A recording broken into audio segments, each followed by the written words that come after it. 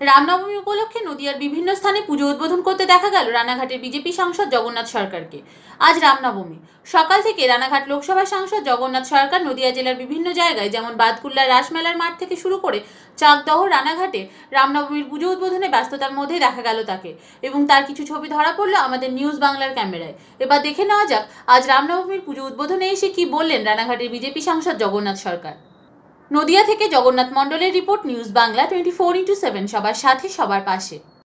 তিনি শক্তি আরাধনা করে তিনি শেষ পুজো দিয়ে শক্তি সঞ্চয় করে তিনি রাবণকে বধ করতে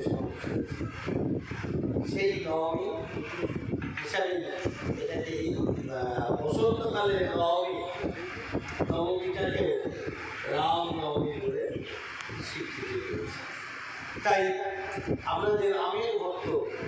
আর রাম আমাদের কাছে এতটাই পবিত্র একবার রাম নাম নিলে যত পাপ করে জীবের সাধ্য আছে তত পাপ করে আর সেই কারণে মৃত্যু মুখে বাঙালি যখন শয্যায় তুলসী তলায় শুয়ে দেওয়া হয়, তখন তার কানে রাম নাম দেওয়া হয়।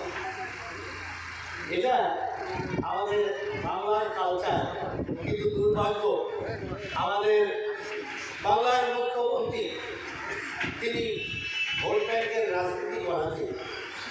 একটা রাষ্ট্রবিরোধী শক্তিকে আজকে তাদেরকে রাম বিরোধীও করে তোলা হয়েছে। সেই ভোট ব্যাংকের জন্যই তিনি রাম নাম শুনলে রেগে যান উত্তেজিত হয়ে যান এবং তারা করে এটা নাকি তার কাছে কীর্তি হিসাবে তাদের মধ্যে প্রবেশ করে।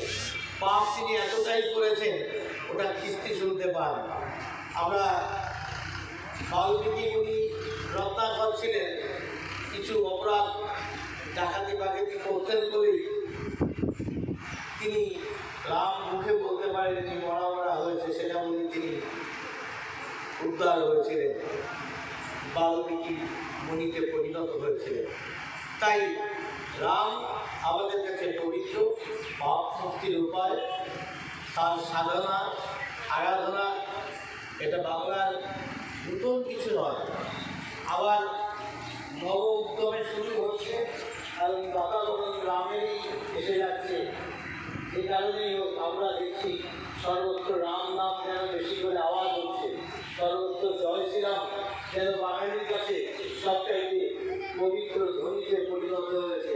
যদিও এটা রাজনৈতিক ধ্বনি নয় আওয়াজ নয় রাম মানে পবিত্রতা রাম মানে সঠিক রাজ্য পরিচালনা করা সংবিধানেও তাই রামের ছবি সংবিধানে প্রথমেই তার ছবি আছে It's caught in the crossfire.